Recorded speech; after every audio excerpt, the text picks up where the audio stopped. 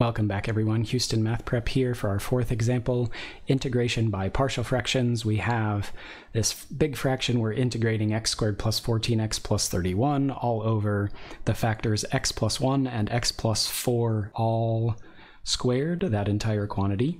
So we have worked out the partial fractions already for this in another video. You can find that information at the link provided on your screen we are going to go ahead and drop that work that we've already done into our integral here. So we found out that a over x plus 1 was 2 over x plus 1, and we found that b over x plus 4 was negative 1 over x plus 4, and we found that c over x plus 4 squared was 3 over x plus 4 all squared. And now we just want to use the fact that we have these partial fractions to complete this integral. Um, each of these we're going to go through and choose u to be the factor itself. So u is going to be x plus 1 here, and du is going to be dx for the first one. So if we pull the 2 out, this first one will become 2 integral of du over u, and that will become 2 times the log rule, ln of absolute value of u, and in this case, u is x plus 1.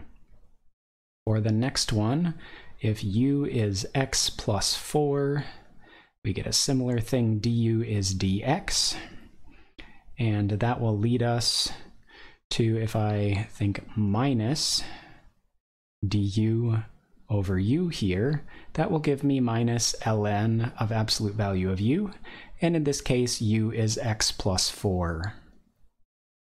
And our last one here, if we let u equal x plus 4 again, and du is dx, then for this one, we actually get, um, I'll pull the 3 out.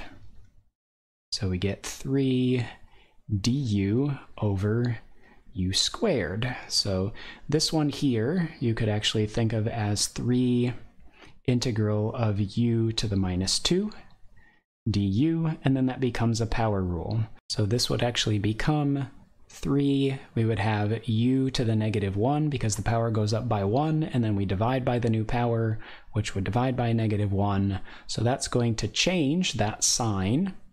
So that's going to change that sign, and we'll end up with minus 3 over u, which is going to be 3 over x plus 4 plus c. So that very last one ended up being not a log rule because it wasn't just x plus 4, it was x plus 4 squared.